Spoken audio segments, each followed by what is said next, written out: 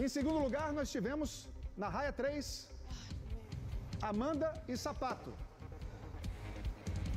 que fizeram, vamos ver ali no gabarito, skate, caixa de ferramenta, mala de viagem, guitarra e garrafa térmica.